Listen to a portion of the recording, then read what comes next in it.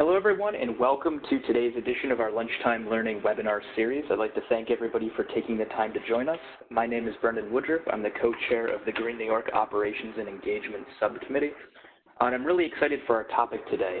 Uh, there's been quite a bit of work done in this area, and it's one that I think we can all learn quite a bit about so we can make better choices going forward. A couple of housekeeping things as we're getting going. Um, everyone is on mute uh, when you join the webinar. If you do have questions as we go along, please type them into the chat box when you have them.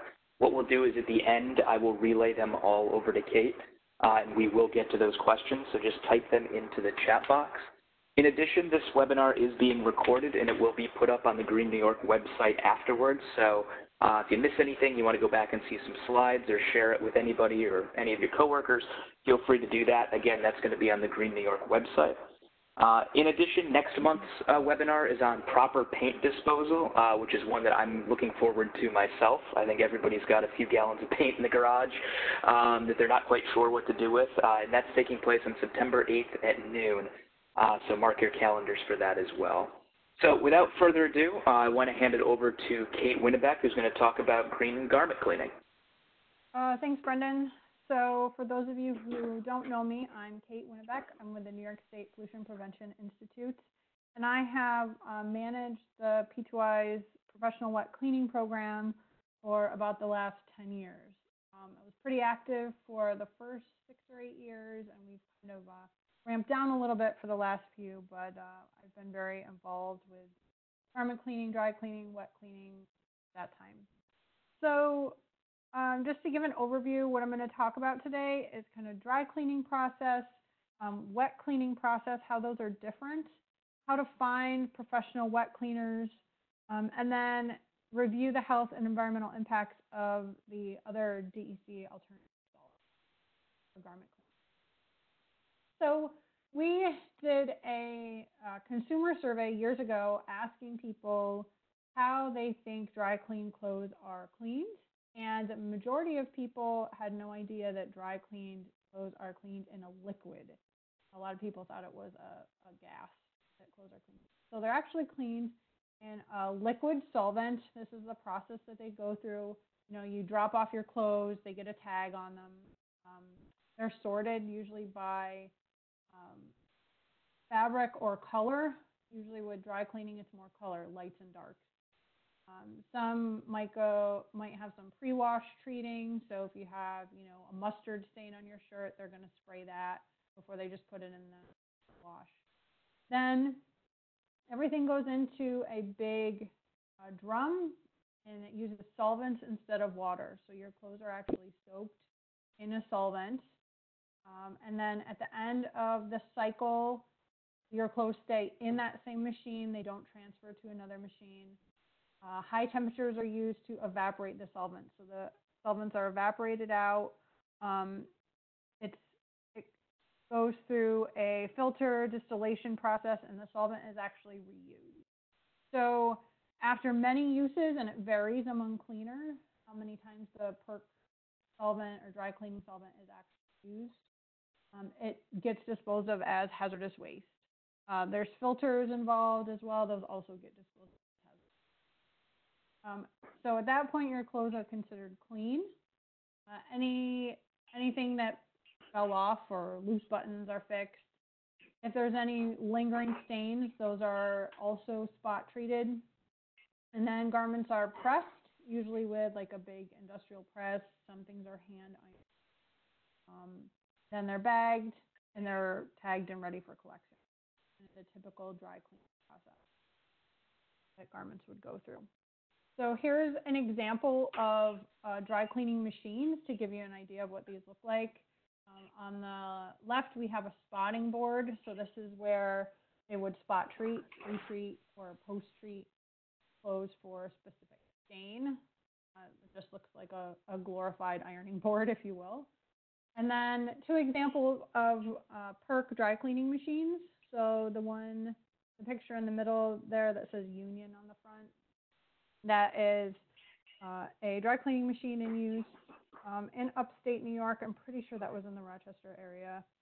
And that was at a shop in a shopping plaza. And then the one on the right, that's kind of enclosed there. That is um, in New York City in a co-located residential building. That machine is no longer there, um, but at the time, that is what it looked like. Um, there's glass doors you can see to get in and out of the actual area where the machine is. Hi, Kate. Just a, Yeah. quick thing here. Uh, we've got a couple people saying they're having trouble hearing um, with the audio, so I'm not sure if you're able to um, get closer to the microphone or, or anything like that. Um, I can try and I can speak up too, if that's helpful. Uh, thanks Okay. for letting me know too. Yep. Okay. So when we look at dry cleaning, dry cleaning typically uses PERC, so perchloroethylene, to clean uh, our clothing. That's the chemical that your clothes are soaked in. The average dry cleaner uses about 68 gallons of PERC, and through this process, they release about 400 pounds into the air. I mean, you can read this generates uh, 1,600 pounds of hazardous waste, 190 pounds of contaminated wastewater. So this is why we at the Pollution Prevention Institute had a very targeted program to look for alternatives to PERC in dry cleaning. We know that, that PERC is not the best, so what other alternatives exist?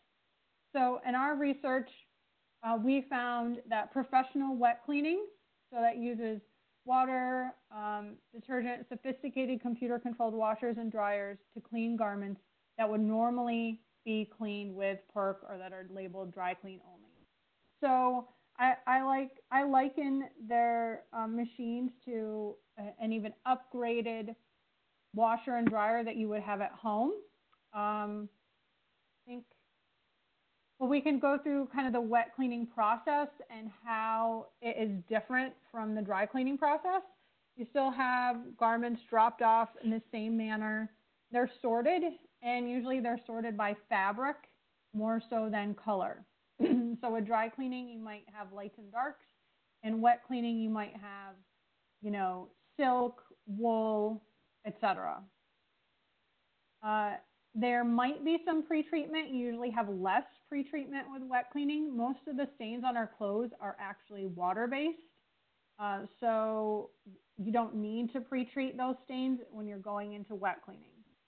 Uh, the washer and dryer with wet cleaning are two separate pieces of equipment. So you do transfer clothes um, and no solvent is used. They use biodegradable detergents, sizers, conditioners are used.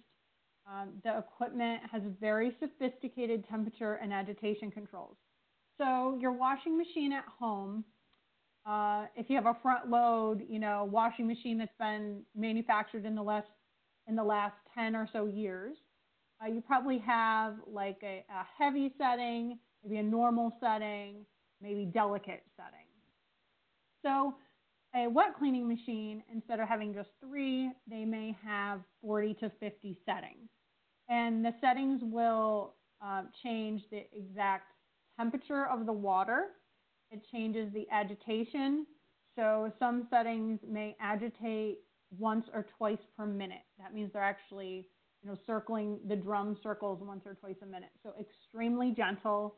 Uh, they have very precise controls on how much detergent is used. There's uh, automated detergent injection systems, so they know exactly how much detergent is being used as well. Um, water reuse systems do exist, but I have yet to find a wet cleaner, especially in New York, that uses one, uh, simply due to cost. You know, there it's very costly. Um, water, at least upstate, is generally low cost. It's not worth the cost to them to um, reuse their water. So water is discharged after use. Um, then um, instead of kind of ironing them, they're usually tensioned. And I have a picture, I'll show you what the tensioning process looks like to make sure that they have the, you know, proper shape and size. And then, excuse me, they're bagged and hung and you pick them up just like, you know, a normal dry cleaner would. So here are some pictures of a wet cleaning systems. So on the left, we have a wet cleaning dryer. So this is all the way from the left. The very left is the dryer, then the washer, and then those um, blue containers. That's the detergent. So that's the automated detergent injection system that you see there. Again, it, it looks like a sophisticated version of what you would have at home. And then we have a form fitter and a pant tensioner. So the form fitter, you can see there's a like a dress shirt in there right now. So you put the dress shirt in and then it actually blows air, it blows humid air through the garment and that's what gets the wrinkles out of the garment. Same for the pants. The pants, um, the waist gets kind of hooked in at the top. You clamp the, the pant leg down at the bottom, the cuffs, and then blow humid air through it gets a blast of hu humid air and then a blast of dry air to kind of set, um, set it. And that's how clothes are wet cleaned. So some of the benefits of wet cleaning that we see, um, garments actually last longer. Clothes are cleaned at the right temperature, the smallest amount of agitation, the perfect mix of detergent. So um, studies have been done and show that garments will actually last longer when they're cleaned with wet cleaning. It's safe on dry clean only clothes. It prevents shrinking and color loss that you might find with um, PERC and other solvent cleaning methods. Whites come out whiter, so wedding dresses especially do well with wet cleaning. Uh, it is cost competitive um, and it very much reduces and in some cases eliminates the health and environmental concerns we often see with dry cleaning. So there's some other benefits that the cleaners themselves experience, uh, they have cost savings. We've done some case studies of cleaners that have converted and they have definite real cost savings. So they, they're using less energy, less natural gas. They're eliminating the hazardous waste associated with PERC dry cleaning. Uh, customers tend to be happier because clothes don't have that PERC dry clean smell anymore. They actually smell, they smell kind of clean or have no smell to them. Um, there, some cleaners have shown an increase in customers as they can market themselves as environmentally friendly. Workers tend to be happier. Um, there's less time needed to clean wet clean cleaned clothes and PERC clean clothes. Um, and workers are happy not to be exposed to PERC or exposed to some of the alternative solvents. And then a lot of cleaners, especially when we talk about urban environments, are located in co-located residential buildings. And you know, a lot of neighbors don't like having a dry cleaner below them for good reason. So, uh, especially we had a cleaner in Manhattan who converted from PERC to wet cleaning, and their the co-op above them was ecstatic. They were very happy to have that. So, so some other benefits that they see. So if you are interested in finding a wet cleaner near you, uh, we have, we at the P2I have developed a map of about 90 wet cleaners on it right now. The goal is really to provide a reliable source for customers to locate wet cleaners across the state. It includes dedicated and mixed shop facilities. Dedicated shops are those that only do professional wet cleaning. That's the only kind of cleaning they may do.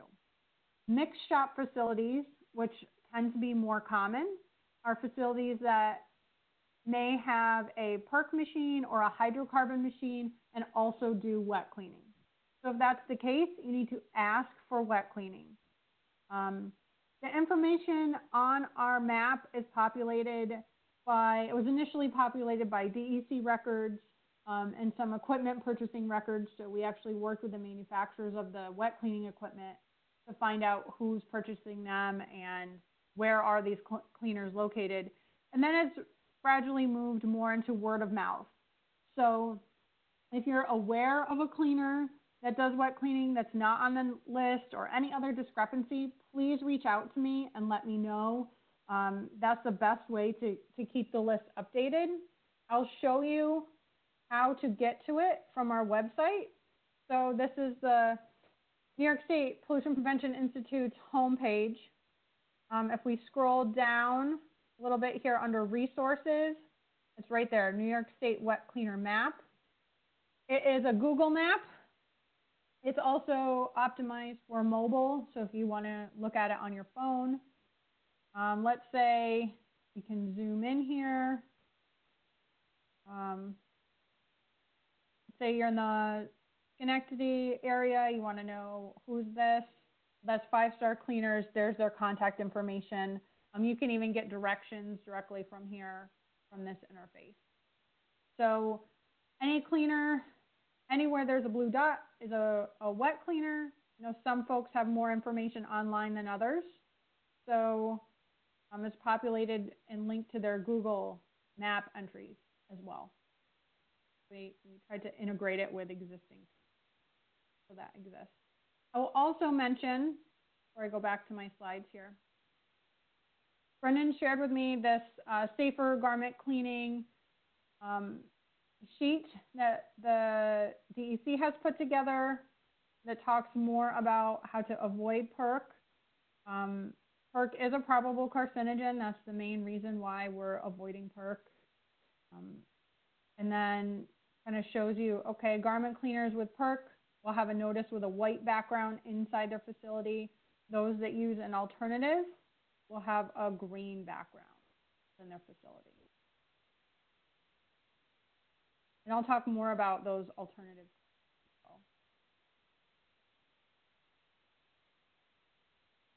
So some of the alternative um, solvents that are in use, this is a, a nice, nice way to look at them. And when you're really thinking about, okay, what's the best alternatives out there?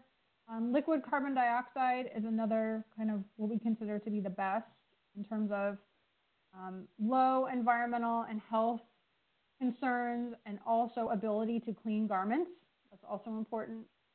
So liquid CO2 and wet cleaning are kind of the best. Then in the middle, we have this butylal, so Solvon K4, that's the, the brand name. And we move to siloxanes, hydrocarbon, and PERC last. So I'll kind of walk through each of these and highlight some of the human health and environmental concerns associated with each. So PERC as I just mentioned, is a probable carcinogen. Uh, there's definite concern for developmental neurologic toxicity at environmentally relevant con concentrations. So that means there's concern uh, for developmental neurologic effects at concentrations that currently exist in the environment, right? So concentrations that we know are out there um, have been linked to effects um, this is especially important, again, for co-located residential buildings. If you live above a cleaner, next to a cleaner, there have been um, studies showing effects in children um, and in other household members due to exposure to PERC. And then it is also persistent in the environment. Uh, there's talk about the degradation products being more toxic than PERC itself actually is as well. Uh, then if we move over to the yellows, we have uh, siloxane. So typically you'll see GreenEarth advertised, the cleaner that, that uses GreenEarth. Um, that's a brand name. Uh, there's some evidence of endocrine disruption, developmental toxicity. It has been detected in food, human tissue, and breast milk. So it's been detected in our bodies. Um, we know it's an animal carcinogen. Not sure if, it's, if that's relevant to humans or not. Um, it has high aquatic toxicity, so you know, if it gets into water, it's also bioaccumulative. If it gets into the environment, it's really challenging to get it out of the environment. Um, and then hydrocarbons is typically what we see a lot of cleaners move from PERC. If they're not going to go directly to wet cleaning, a lot of them will move to hydrocarbons. Um, and of course, each individual hydrocarbon has its own you know, even more specific um, set of concerns. But in general, there's some evidence of cancer in animals, evidence of reproductive effects. Uh, we know it's a skin irritant. Uh, and some aquatic toxicity, same for persistence, at least it biodegrades. So we see a lot of hydrocarbon in use upstate. Um, not so much downstate, not so much in urban areas because hydrocarbons are flammable. So that's another concern. Um, and and in co-located buildings, um, sprinkler systems are required for any hydrocarbon cleaner. And a lot of uh, buildings in urban areas don't want to take the risk. So we see less hydrocarbon there and more hydrocarbon in like shopping malls, plazas, standalone buildings that we typically find in suburban areas. Then uh, Butylal, so that brand you might see is Solvon K4. That's a Kreussler product. That's the name of the manufacturer. Um, so we know there's low acute toxicity, which is good, but there's not really any information on chronic toxicity. So what are the long-term effects of Solvon K4? Um, no studies have been done on that yet. Um, and we don't expect any real environmental concerns. So that's how uh, Butylal or Solvon K4 kind of gets, a, you know, a little bit more concern than wet cleaning, but but better than the, the hydrocarbon and GreenEarth cases. And then lastly, uh, liquid CO2, we don't expect any concerns for human health or the environment. Uh, liquid carbon dioxide is not used very prevalently because it's cost prohibitive. It's very expensive to have these uh, this equipment. It's expensive to run, so most cleaners, you know, don't have the money to install liquid CO2 machines. We don't see that very often. Uh, and then wet cleaning, we don't have any health concerns. The ingredients are very similar to typical laundry products. I mean, they're using a laundry detergent. Um, I did an analysis of ingredients of very common wet cleaning detergents and compared them to common you know, household laundry detergents, very similar. There is a potential for 1,4-dioxane contamination in wastewater because they, again, they're using detergents. Anytime we use a detergent, there's a potential for 1,4-dioxane uh, contamination in wastewater. And um, we know that it's in varying concentrations as well. So some, some detergents have uh, less 1,4-dioxane contamination than others. So last, think this is last, yeah, to wrap, wrap us up, um, what about organic cleaners? I get asked this still a lot, you know. What about cleaners that advertise themselves as eco-friendly, environmentally friendly, safe? What does that mean? So the use of the term organic is really is only regulated by the food products industry. So if you see a cleaner advertised as organic dry cleaning, there's nothing formal that stands behind that assertion. Uh, same for the use of environmentally friendly, green, non-toxic, eco-friendly, you know, eco-clean. You can see all those logos I pulled over there to the right.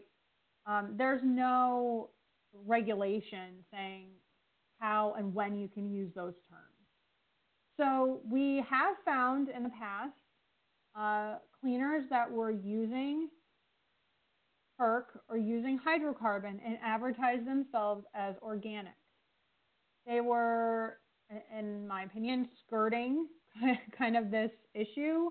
And, um, you know, when a, when a consumer sees the word organic, there's certain connotations, right? We assume organic kind of equates to this environmentally friendly, eco-friendly, better for us, better for the environment concept. And they were saying, well, but it it is organic because it contains a carbon molecule. I mean, that's that's how far some cleaners have gone. So my caution is ask your dry cleaner what they use to clean the clothes. Um, we called have called many many cleaners and have just asked outright you know, we just call, somebody answers, Joe's cleaner, and I'll say, hi, uh, what do you guys use to clean your clothes? And um, the majority of cleaners were pretty open and would tell us what they use. There was a few that were, you know, why are you calling? Who wants to know? Um, but with some more probing, they were pretty open to, sh to sharing and telling us, here's what we use, here's the process we follow, um, etc. So I highly encourage you to contact your cleaner, ask them what they use. Same for the cleaners that are listed on our wet cleaning map. Um, even if you find them on there, I would call them and verify. Or if you're going to visit, you know, when you, you drop off, I would verify with them what are you using at your shop. There is a cleaner local to me, I'm in Rochester, that does both um, professional wet cleaning, or at a time they did both professional wet cleaning and hydrocarbon cleaning.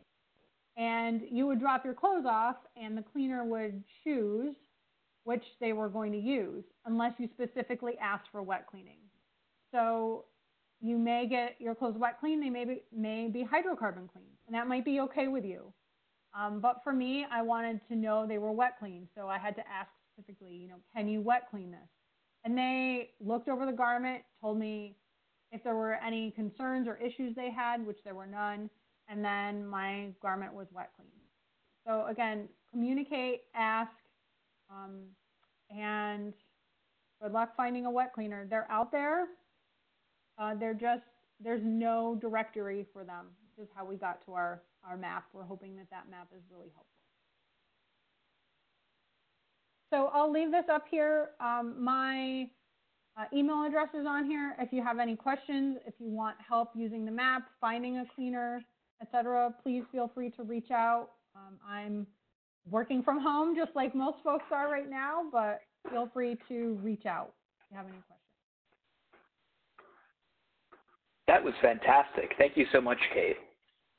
And uh, with with that, uh, if anybody has more questions, please type them into the chat box. We have a few here to get through. Um, and I really enjoyed um, you going through at the end there with some of the, the claims that are out there in terms of the cleaners. I know in a lot of industries, um, it's hard to parse through what's out there, and I think it's, it's really good for us to, to look at that and think critically about um, what is being said as consumers um, and, and, what we're really uh, choosing. So the first question we have here is, can you go back and talk a little bit more about the amount of PERC that is used per load and um, kind of where that ends up afterwards in terms of, um, you know, filtered out or getting into the air or staying enclosed? Sure. So I don't have those specific numbers in front of me. I know I have them. They're just buried, to be perfectly honest. So whoever that asked that question, if you want to reach out to me directly, I can get exact numbers to you. I can talk at a high level and say that, you know, I want to say it's somewhere in, in the one to two gallons of PERC that's used per load. I think that's the magnitude we're talking. Um, of course, some amount is going to end up in in the filters, right? Um, the filters are really filtering out lint, dirt, um, anything anything that comes out of your clothes, right? So that's what the filters are getting.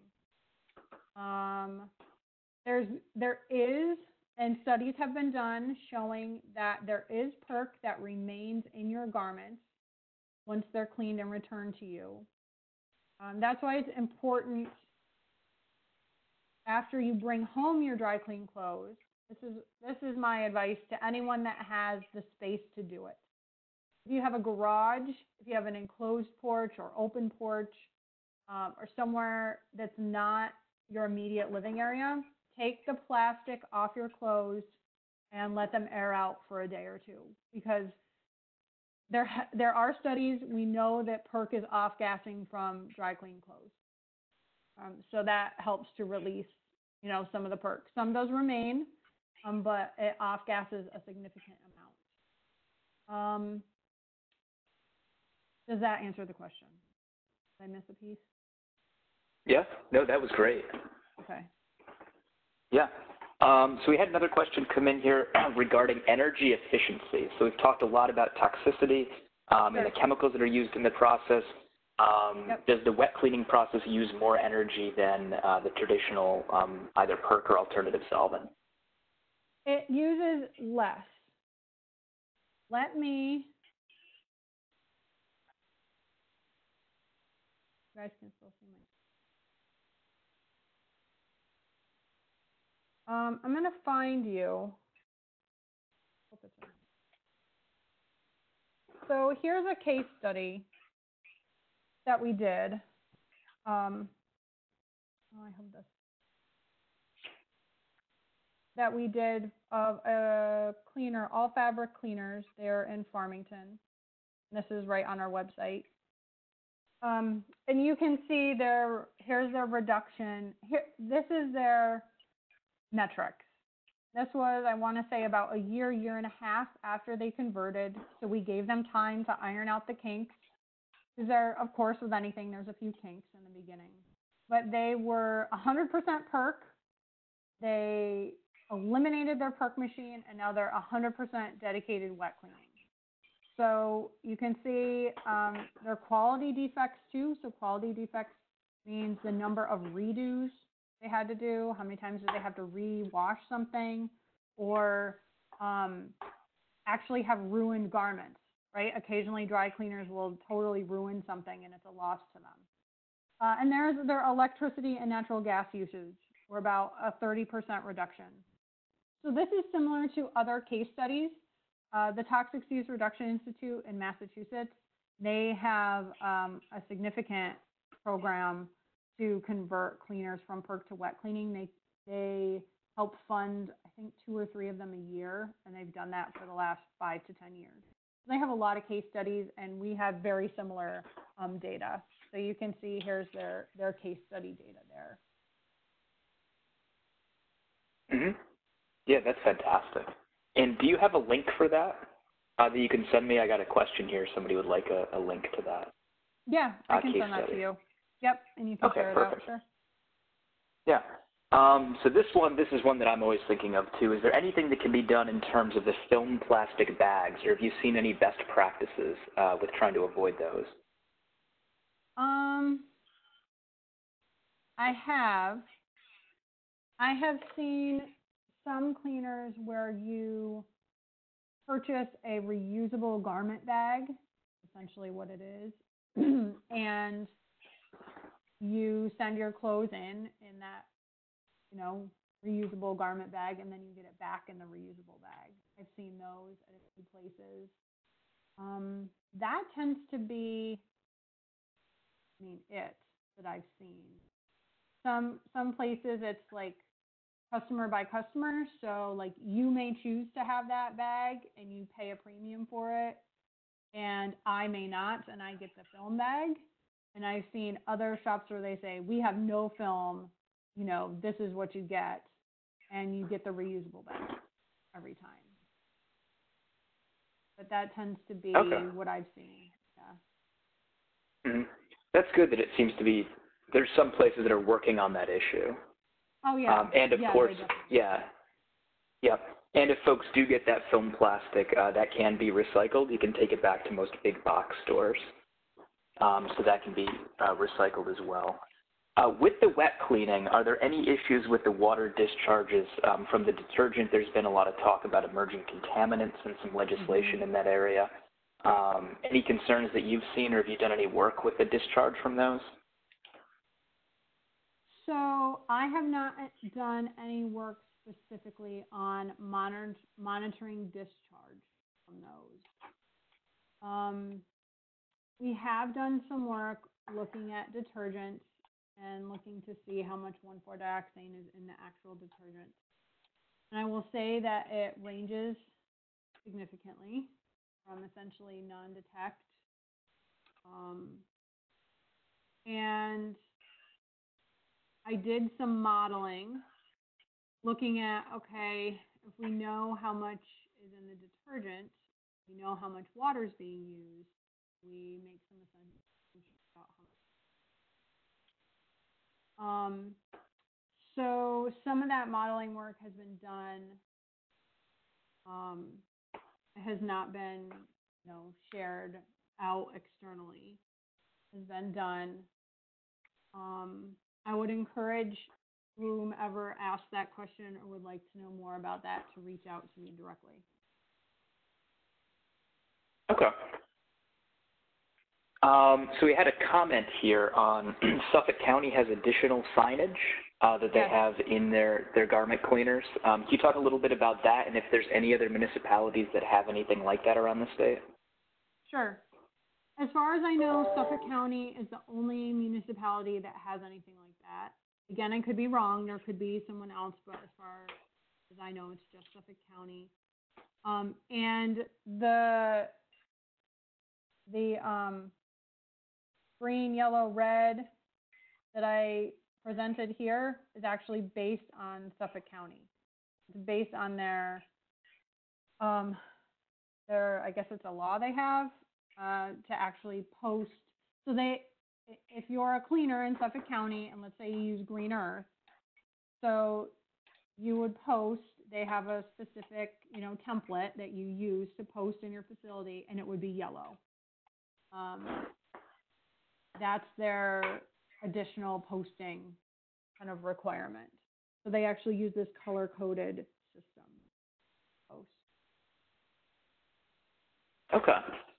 Uh, so we've got three more questions here. Uh, and if anybody does have any other uh, questions, feel free to type them into the chat box. Um, so with all the benefits that are coming from wet cleaning, um, including to the business itself, um, are there any barriers that have led to it not being more widely adopted? I think yes. So there's a couple barriers on a couple different fronts. Um, so one of them is care care labels. So care labels in your clothes say dry clean. They don't say wet clean. They don't say professional clean. So some dry cleaners are very concerned about going against the care label. And what if I go against the care label? Is the customer going to accept that? That's a that's a very real concern for, for cleaners. Um, the second is uh, you have wet cleaning machines when they first came out around in the late 90s, very early 2000s, which is before my time working on this. This is this is kind of what I've heard, and I've heard this from many folks, is that they were not great. Okay, so they left a bad taste in a lot of cleaners' mouths, and now they're trying to overcome that because these are now you know new generations of equipment. Like the manufacturers realize that and have made new equipment. Um, you have uh, language barrier issues are very real. Uh, a lot of cleaners um, speak Korean, so that can be a barrier. Um, we also find customers in general when we tell when we talk to the public and we tell them that you know dry clean clothes so this wool suit that you've been told cannot go in water, you know, is going to shrink in water. Oh no, we can clean it in water. People already are like, no, I don't want you to do that. That tends to be the the feel from majority of people. Um, so there's some stigma around it still. Uh, the fabric cleaners, that was the case study I put up in Farmington. Um, he actually converted and did not tell his customers that he converted because he was afraid that if he told them he was using water to wash their dry clean only clothes, that a lot of them would say, No, I'm taking my clothes somewhere else. What actually happened is his, his customers came back and said, Wow, what did you do? Like, my clothes smell a lot better. They're a lot softer. Like, what's going on? Did you change something? So once his customers were happier, or he, you know, that was the feedback he got.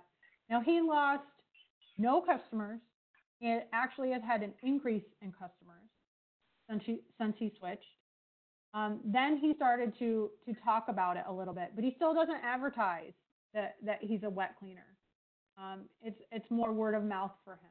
So I think there's there's some fronts and, very different.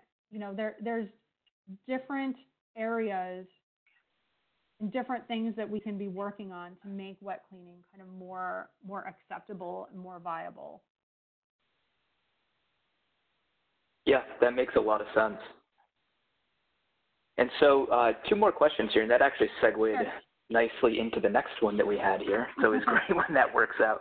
Um, so with this, um, the person mentioned that uh, they've, they've asked cleaners before about wet cleaning, and there's been miscommunication regarding kind of just laundering shirts yep. um, versus professional wet cleaning, um, where a place will say, yeah, yeah, we, we do wet cleaning, and you get it back and it smells like the solvent or PERC. um, because they're thinking of the the shirt laundering. Um, any suggestions on on ways to talk about this? Um, yeah, we have had the same problem. So when we talk to cleaners, you know, we we will talk to them and say, you know, okay, but we're not talking about shirt laundry. Like we know you do laundry. That's different. We're talking about, you know, can you clean a wedding dress in water? Will you clean my wool suit in water? Like we'll actually give them examples and ask. Um, or, or we might say, well, what what else do you use? You know, oh, I have a hydrocarbon machine. Okay, so do you have a hydrocarbon and a wet cleaning machine and a washer and dryer? Like, what do you really have? And, try to get an understanding of, okay, are people actually wet cleaning or, I mean, to your point, are they laundering? Right? Because that's what wash and fold or like shirt laundry. I mean, that's what we we call laundry. That's that's the term we we at P2I use for that. And you know, most cleaners have their dry cleaning set up. They'll have a dry cleaning system, and then they'll have like a, a home washer dryer there to do their shirt laundry, to do their wash and fold. That's very, very common. Um, wet cleaning machines can also be used to do laundry. So some facilities that do wet cleaning, they may only have a, a wet cleaning washer dryer because they can do everything in their wet system. They don't need the separate washer dryer. Oh, that's great. That's another benefit for the business. Yes. So we've got one more question here, and if anybody has any final thoughts or questions, feel free to type them into the chat box here. Um, is you mentioned hydrocarbons for some of the alternative solvents there. Um, are those based on fossil fuels, um, or are there other kind of the source of the hydrocarbon itself? Um, I mean, I'm assuming they're based on fossil fuels. I don't, I don't know that offhand. Okay. Yeah, and that, that's um, become an issue in a lot of other areas too when we're looking at supply chain and we're looking um, kind of upstream with products. And um, yeah, this person really got to it. Um, you know, is where when we're talking about kind of transitioning to a low carbon economy, um, yeah. You know, there's the, the basics of, you know, driving electric vehicles and that displaces, um, you know, fossil fuels. But mm-hmm. um, it'd be interesting if this is another area where switching from a hydrocarbon base to, you know, wet cleaning would eliminate some fossil fuels from the supply chain for this. Yeah. Yeah, I would agree. I mean, we've also found, um, so we haven't done a comparison of hydrocarbon, perc, and wet cleaning in terms of like energy usage and cost savings. But other folks have. California has done work in that area and find, have found, you know, hydrocarbon has very similar um, energy use profiles. Actually, all of these do or should, because they they all work kind of in the same way. So whether you're using Solvon K4, GreenEarth, a hydrocarbon, or PERC, your clothes are going into a machine. They're getting soaked in this liquid detergent, or excuse me, soaked in this liquid chemical. Um, and then, you know, same. We have the same filtering distillation process, and the chemical is reused. So, so really, the big energy hog, if you will, in that process is the distillation process, right? Because you need to heat up the clothing a lot because you need to get all that chemical to to evaporate out of the clothes. then we have to distill it down. Um, so that's the big energy usage. So in wet cleaning, you eliminate that. We don't have to do any of that distillation. You don't have to do any of, of evaporation. I mean, beyond a, a um, dryer, what your your typical dryer would do. So mm-hmm. yeah, there's there's going to be less energy I mean, when you compare wet cleaning to any of these others. I will say, I believe liquid CO2 has a higher energy footprint because of the compressed, okay. compressed liquid. Mm-hmm. Yeah, and one of the issues I've heard um, about that too is that um, CO2 has such a negative connotation. Um, Yes. That some places don't want to, are you know, hey, we're putting CO2 in everything, and it could escape. People just think climate change. Um, Exactly. that's, I think, an issue with getting that technology out there as well. So we had one more question that came in. Um, are there any moves that you know of to increase regulation of PERC or hydrocarbons? Um, you know, there's the December 2020 regulation for co-located residential buildings. I, to be honest, since COVID, I don't know if anything has changed with that. So that legislation says in December of 2020, you can no longer use PERC in a co-located residential building. So again, you find that in a lot of urban areas especially New York City. They're on the first, you know, a lot of these cleaners are on the first floor of an apartment building. They have apartments up above them. So the, the legislation says, starting in December of this year, all those cleaners have to convert. They can no longer use PERC. Um, I don't know what the current status is of that. If someone has somehow slowed down that implementation somehow, I'm not, I don't know. Um, in terms of hydrocarbon and in terms of PERC, usage, you know, outside of the co-located residential, I'm not aware of anything right now. Brendan, are you aware of anything? I'm not either. Yeah, I'm not aware of any, any other legislation right now. What's interesting though in New York City with this 2020 deadline is that I think what we were, we were hoping would happen is those cleaners would, you know, convert to wet cleaning, um, or even convert to like GreenEarth. Uh, they're not going to convert to hydrocarbon because again, we have the flammability issues. So a lot of landlords don't want, you know, flammable gases or flammable liquids in their buildings. So we were hoping that cleaners would just convert, existing PERC cleaners would convert and kind of go about their business. What has happened is a lot of them have um, either completely closed or they've converted to drop shops. So a drop shop is where, um, let's say you live in Manhattan, you drop your clothes off at your neighborhood cleaner. They don't do any cleaning there. They actually ship the clothes off site. They're finding a lot of it is done in New Jersey. They'll have a, a bigger plant there. Now it's not in a co-located residential building, so they can have a PERC machine or they can have many large PERC machines and they'll wash the clothes there and then they bring them back into Manhattan and you go back to your shop on your street corner and then you um, pick them up there. So that's kind of been the, the drawback um, of that legislation. But I'm not aware of any other legislation currently. hmm And with that, do you have any final thoughts for folks? Um, my fi- my final thought is, if you can avoid any kind of dry cleaning or garment cleaning, that is the best thing to do. You know, if we don't even have to be talking about uh, any of these in terms of, you know, energy, water, et cetera, that's the best. Um, if that's not possible, you know, seek out wet cleaners. Ask your cleaner for for wet cleaning. Tell them that you're interested in this. Um, that's that's the way that cleaners convert. Is cleaners convert because customers are asking for it.